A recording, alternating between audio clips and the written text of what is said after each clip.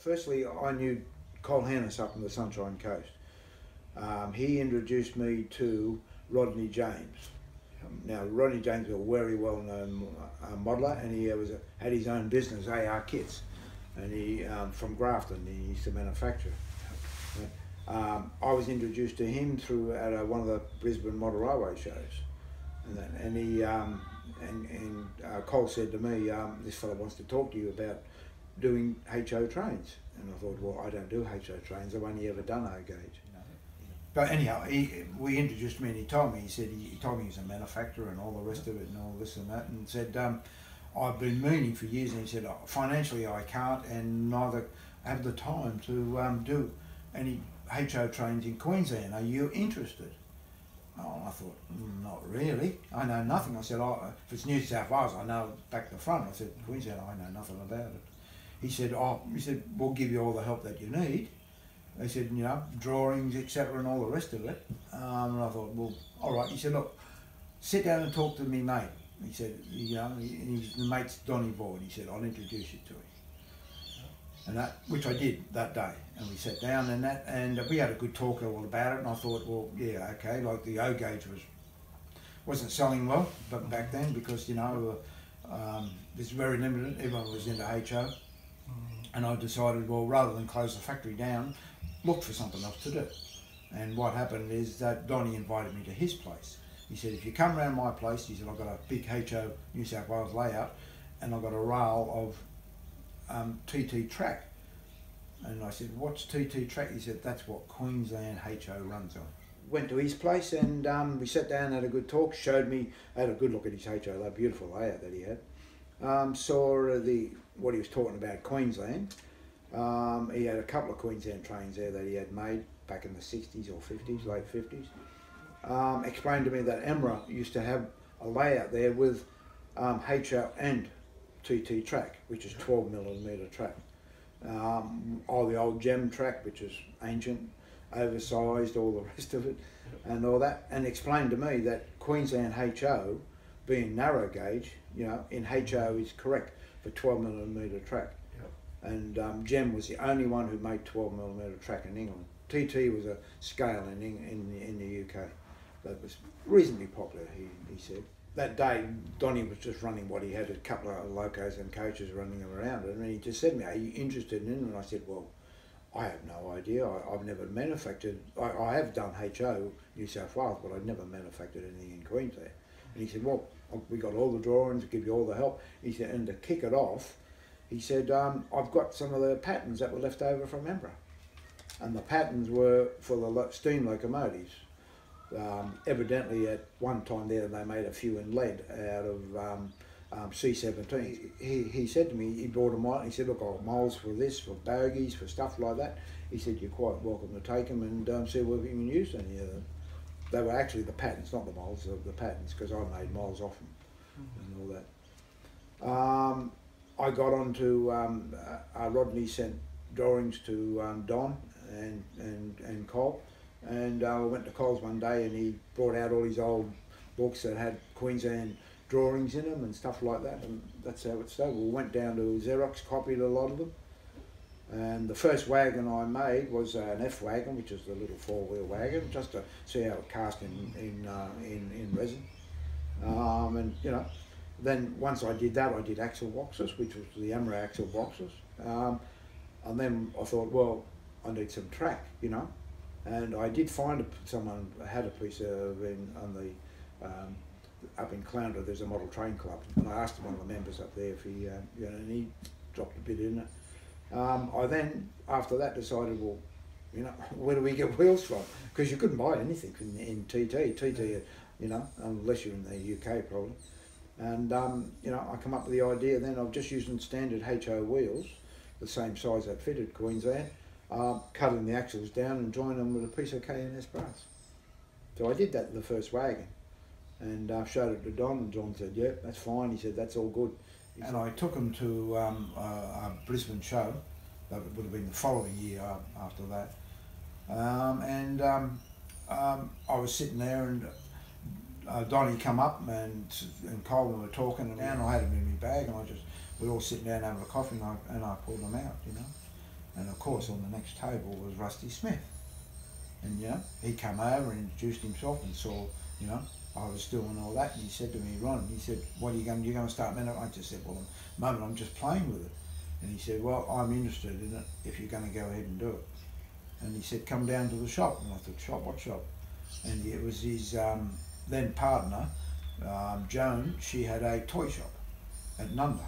In one corner, he had a, a um, display of HO because Rusty was in the HO New South Wales at the time. And we had a good talk about that, and he said, I'm turning this into a train shop, into Brisbane's train shop. And that was then, about six months later, they he got a stock, it was called the Turntable. Um, and then um, I, I, I think I think Rusty came up. I'm not sure, not 100 percent sure, remember, but we we met again, and Rusty just said, "Well, right, go ahead, start doing it." And I said to him, "Well, first, we got no locomotives, know." And he said, "Oh yes, we have." And he pulled one out and stuck it on it. And it was a diesel, early diesel. Just coincidence, Black Diamond, who was a um, started manufacturing um, HO Queensland, yeah? but it wasn't on TT track. I think it was on HO track. There was a few modelers around doing that, but it's totally wrong. And it looks wrong because the wheels hang outside the locomotive. It just was totally wrong and all.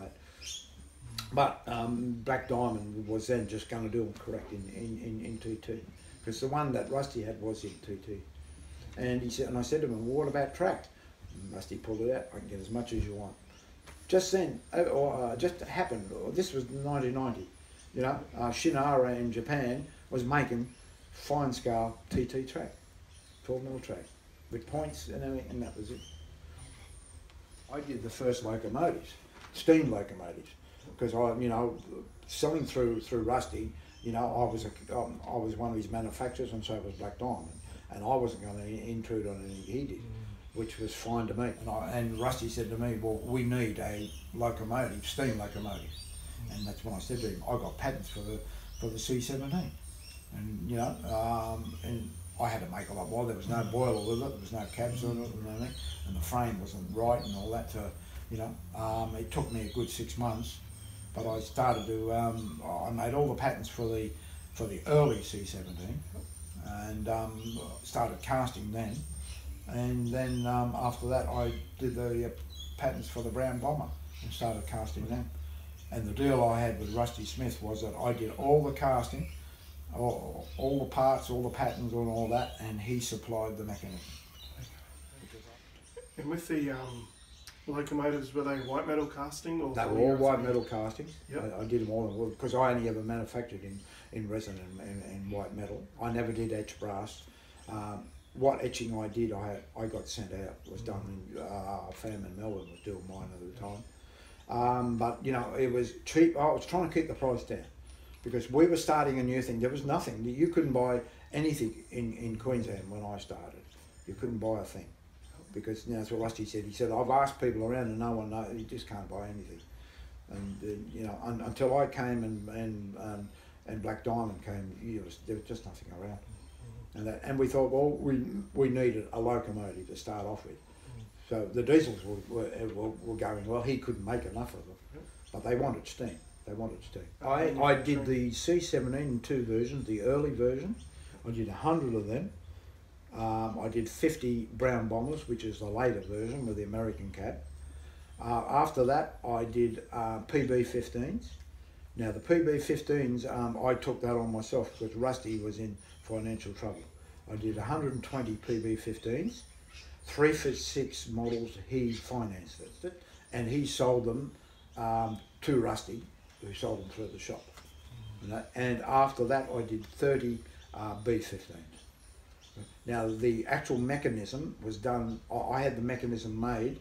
Three foot six, he, he financed it and supplied all the wheels. I supplied everything the frame, the motor, gears, and everything. And all that was done through um, George Hadley.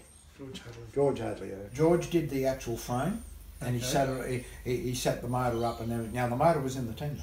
Yep. We, we put the motor in the tender with the frame, and we used um, we used um, a, a commercial gearbox, which is what the same gearbox I think they were using in HO in in um, um, New South Wales. Yep. and we just ran it through the cab and into the. You Okay. and that's how all the all the PBs were done, and the um, and the B15s were done like that. There was um, 35 different wagons in the end. By the time I mean, I, I only did it from 1990 to 94 or five, and then Rusty took over doing them. He set up a casting shop in the back of his shop because um, in '95 I think I started British Yes. and that's why I did the British, and I couldn't do. I just said to him at the time, you know, um, that I couldn't continue with mine. By then, there was other manufacturers that come into it. Uh, three foot six, he was another manufacturer. He was making some beautiful Queensland coaches and stuff like that. And Rusty said, "I'll take it over and do it at the back of mine." And I showed Rusty how to do it, and he set it all up, and it was all done in polyurethane at the back of the shop in um, in, in Nunda. And he did that, just kept manufacturing right to the end, I think. To the, till he... They were done as Ron Fox castings and and um, um, supplied through the turntable, right? Um, but uh, Rusty also supplied them ready to run. I think there was at least 50 of, the, of them, or maybe more, ready to run, done ready to run. Now, I knew the fellow who did all the um, assembly. I can't remember his name, I'm afraid. Lucas, I think was his name. Was his last name. Can't remember his first name. But he was he, he was putting them together and selling and then he's selling them to Rusty, and Rusty was selling them through the shop. I believe, if I can remember right, they sold for three hundred dollars. What was the demand like for them? Oh, I guess it yeah, wouldn't stop. That's why I did so many. I can't remember. There's 35 different wagons, but um, you know, and I, I also the um, standard um, uh, wood coaches that ran through um, around suburban coaches around Brisbane. They were VUs. I did the coach and the break end, and also I was the first one to do the Sunlander cars, which was the um, blue and cream cars. Yeah, I, uh, I did them. They, they were after I did the um, the wooden coaches. But yeah, there was box wagons, there was open wagons, flat wagons. There was quite a lot of wagons. Um, water wagons, gins, water gins. I did the flat wagon, which is like uh, I forget the name of it now, like an MTW in New South Wales, but smaller, of course. I did the flat wagon with the stanchions on it, and I did that, and I did uh, a bogey open wagon. The um, I did make um, a Queensland station kit and I did also did a uh, I did a tunnel portal, which you'll see in that, and I think I did some car, white metal castings for signals and stuff like that. Um, um, other than that, I, there wouldn't have been any other than the 35 wagons, the three types of locomotives, um, the station kit, the tunnel kit, and white metal parts and stuff, signals and stuff, signal arms and stuff. That would have been the whole lot for uh, Queensland. As soon as I got my locos, first locos running and all the rolling stock, first thing I wanted, w- what, what Rusty said, he said, well, let's build a layout and put it in the shop so we can run them around. I thought, no, no, no, that's not right, you know. We're gonna, I'm going to build a layout. So, you know, because it is fine scale and it was the first fine scale, it had to be a decent layout to show everyone what Queensland layouts in fine scale look like. Um, and I just decided I'd come up with an idea of bu- building a, a fine scale layout for Brisbane exhibition for that year. Um, and um, it just so happened one day I was up at George's and I came through Nambour and drove through Woombye and just stopped there and looked at it and it was just like it was still in the 19, 1930s, you know. And I said, that's what I'm going to do.